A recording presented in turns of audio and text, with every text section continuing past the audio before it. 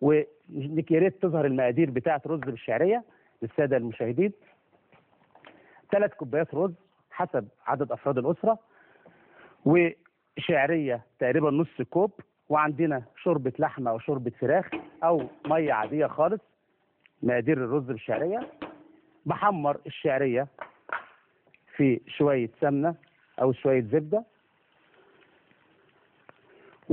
وبضيف شوية زيت زي ما عودتكم طبعا علشان الشعرية والسمنة ما تتحرقش. المقادير موجودة على الشاشة.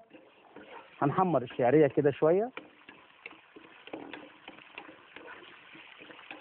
الله.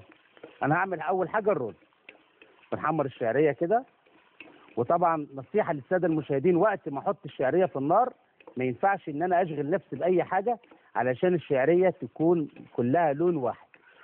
وفي بعض الأخطاء بنحصل إن إحنا بعد ما بنحمر الشعرية كده بنرفع الحلة من على النار. واخدين بالكم؟ السخونية بتاعت الحلة بتحمر الشعرية أكتر. فنخلي بالنا حتى لما نرفع الحلة من على النار نبدأ برضو ونستمر في في التقليب علشان الشعرية تبقى كلها لون واحد. لو لاحظت إن أنا مش عايز أسيب الشعرية غير إن أنا أجيب الرز بتاعي اللي أنا هضيفه للشعرية علشان أخليه ياخد تقليبة كمان. أنا عندي الرز مغسول وجاهز اهوت عامل كمية عشان تكفي ضيوفنا النهارده. اخلي بالي طبعا إن الشعريه تبقى لون واحد زي ما إحنا شايفين كده يا ريت الكاميرا تجيبها أهي الشكل الجميل ده اهوت.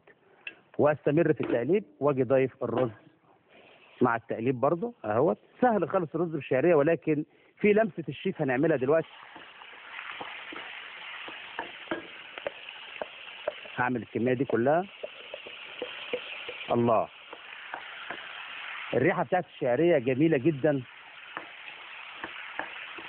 زي ما إحنا شايفين لازم أفلفل الرز مع الشعرية كده شوية. بيكون عندي مثلا قبلها بيوم مرقة فراخ اللي هي الشوربة شوربة اللحمة وشوربة الفراخ. طب يا شيف النهارده ما كانش عندنا لا شوربة لحمه ولا شوربة فراخ. بنجيب مية نغليها على النار. بس بنحط لها طبعا فصين من الحبهان اللي هو الهيل وشوية قرفة. لازم يغلوا مع بعض وشوية ورق رورو عشان التست بتاع المية يتغير شوية. ومع الرز بحط ورقتين كده ورق رورو من ده أو لورو يعني هو له كذا اسم ورق الغار. وعندي شوية قرفة. اللي هي القرفة الخشب بحط كده عودين علشان طبعا لما الرز يستوي هيبان ده في قلب الرز شكله جميل جدا. والمية بتغلي هنا عندي أهيت. حاطط فيها حبهان.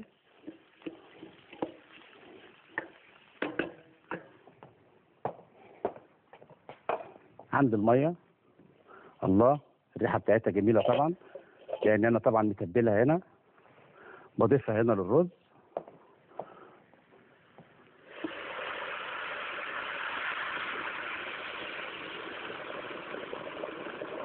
هنا الميه طبعا دي من غير أي مرق ولا مكسبات طعم ولا أي حاجة.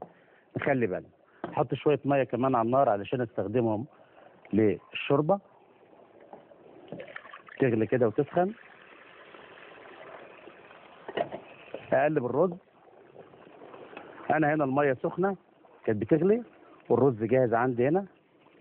الله. شايفين يا ريت الكاميرا تجيب كده الرز بعد ما نزل عليه المية.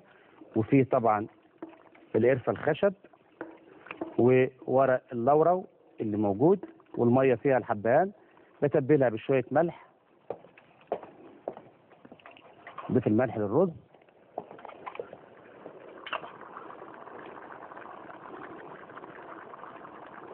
طبعا هنا الرز لازم أظبط الملح بتاعه كويس وأخليه دايما زي ما بقول دايما في كل حلقاتنا الرز الملح بالسالب. يعني بالقليل عشان له علاج بعد كده. ما ينفعش أحط ملح بزيادة ومليش أقدرش أعالجه بعد كده. يعني أعالج الموضوع على السفرة أفيد. بغطي الحلة بتاعتنا. وفي مثل بيقول اتقل على الرز لما يستوي نوطي الرز خالص نوطي النار على الرز. معانا اتصال؟ معانا الأخت أسماء من العمرانية. اتصال؟ السلام عليكم. ازيك ازيك يا شيف أحمد؟ يا أهلا وسهلا. عامل إيه حضرتك؟ يا الحمد لله رب جزاك الله العالمين كل خير على كل والله العظيم. لك